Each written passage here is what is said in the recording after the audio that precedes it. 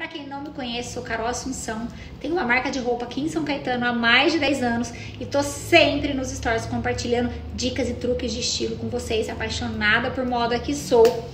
E hoje eu quero falar sobre o tênis. Sim, meninas, até o nosso bom e velho tênisinho branco, que eu amo, uso muito esses dois modelinhos, tem o poder de alongar as nossas pernas ou deixar o nosso pé maior. Sabiam disso? Então pega essa dica. Na hora de comprar o seu tênis, você observa duas coisas. Se você é pequenininha assim como eu, tenho 1,58 de altura e apesar de não super me incomodar com a minha altura, sempre que posso, gosto de parecer um tiquinho mais alto, por que não?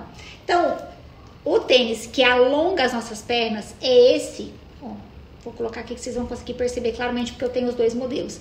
É esse aqui, que tem um bico mais comprido. Conseguem ver? Eles têm a mesma numeração, mas esse tênis tem um bico mais estreito e mais comprido.